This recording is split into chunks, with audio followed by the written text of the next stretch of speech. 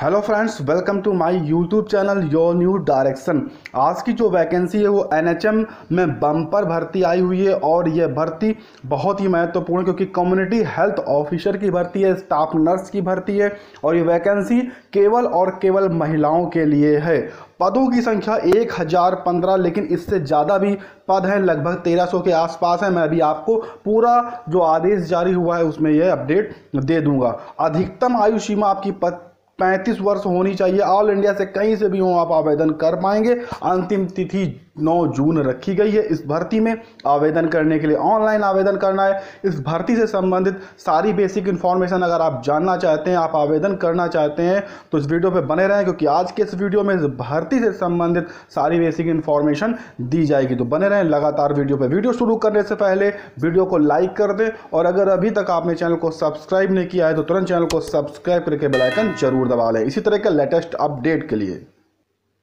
सबसे पहले हम देखेंगे पदों की संख्या। कुल पद एक हज़ार पंद्रह, अनारक्षित को चार सौ अंठानवे अन्य पिछड़ा वर्ग को एक सौ बयालीस, अनुसूचित जाति को एक सौ बासठ, अनुसूचित जनजाति को 203 और विकलांग को 10 पद दिए गए हैं। अभी मैं इसमें और दिखाऊँगा आपको, इसके अनुसार पदों की संख्या बढ़ेगी, अभी मैं आपको दिखा दूँगा। आयु सीमा आप यहाँ पर देख पा रहे हैं, मैक्सिमम 35 वर्ष होनी चाहिए एस सी को पाँच साल की, ओबीसी को तीन साल की आयु सीमा में छूट दी जाएगी। इससे संबंधित आप जानकारी इस वेबसाइट पर भी प्राप्त कर सकते हैं।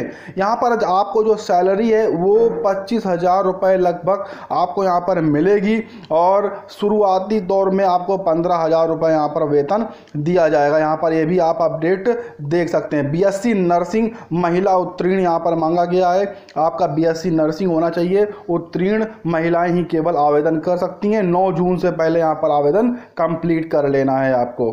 हेल्थ एंड वेलनेस सेंटर के क्रियान्वयन हेतु certificate course in community health चयन परीक्षा भारतीय उपचर्या परिषद नई दिल्ली से मान्यता प्राप्त नर्सिंग संस्थानों से बीएससी नर्सिंग उत्तीर्ण केवल महिला आवेदकों के लिए अथवा राष्ट्रीय स्वास्थ्य मिशन मध्य प्रदेश के अंतर्गत संविदा आधार पर सेवा प्रदान करने वाली महिला स्टाफ नर्स ही इस भर्ती के लिए पात्र हैं, केवल यही आवेदन कर पाएँगे। तो ये इंपॉर्टेंट है, इसको ज़रूर आप समझ लें, क्योंकि यही लोग केवल आवेदन कर पाएँगे। यहाँ पर आप देख सकते हैं कि आयु सीमा की जो आपकी गणना होगी, वो जो हाई स्कूल का प्रमाण पत्र है, उसके अनुसार यहाँ पर आयु सीमा की आपकी गणना होने वाली है तो आपका हाई स्कूल होना अनिवार्य यहाँ पर है।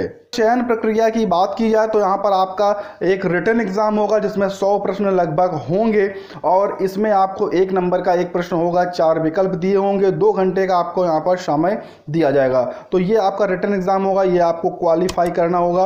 उसके बाद कुछ और भी अंकों के आपकी यहाँ पर होगी जैसे कि जैसे कि इंटरव्यू, इस तरह की चीज़ें आपके यहाँ पर स्किल टेस्ट होंगे कुछ उस तरह के। उसके बाद आपकी फाइनल मेरिट लिस्ट तैयार की जाएगी। उनके अनुसार ही सिलेक्शन यहाँ पर होने वाला है। अब यहाँ पर जो इसका परीक्षा केंद्र है, वो आपका एमपी में ही दिया जाएगा। इसकी जो ऑफिशियल वेबसाइट है, वहाँ पर आप देख सकते हैं कहाँ कहाँ पर आपको परीक्षा केंद्र दिया जा सकता है। इसके पढ़ने की जो प्रोग्राम स्टडी है, वो सब चीज़ें भी आपको वहीं पर देखने को मिल जाएँगी। वेबसाइट पर सारी चीज़ें अपडेट कर दी गई हैं। ये इसकी वेबसाइट है डब्ल्यू यहाँ से आपको आवेदन करना है। वेबसाइट नोट कर लें। डब्ल्यू यहाँ से आपको आपको ऑनलाइन आवेदन करना है।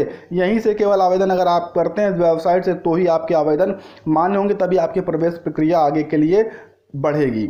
जो आपका यहाँ पर जब आप जाएँगे तो आपके सारे ओरिजिनल डॉक्यूमेंट्स आपके पास होने अनिवार्य हैं।